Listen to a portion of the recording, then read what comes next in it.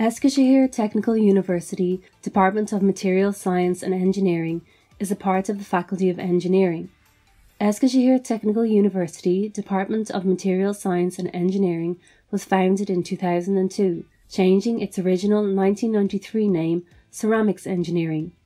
In order to train material engineers who will become 21st century engineers.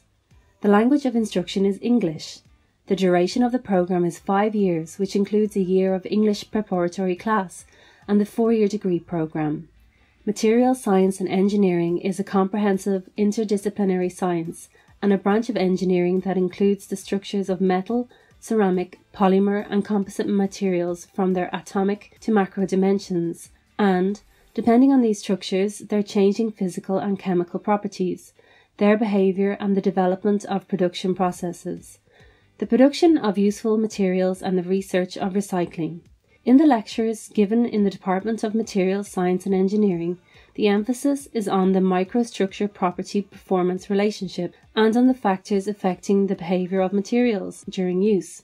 Because design is often restricted by the properties of materials, the material itself is important for all engineering branches. Developments in the field of materials bring along new design criteria, allowing the possibility of the emergence of new products. For this reason, most of the programs in engineering faculties have at least one course on material science and engineering.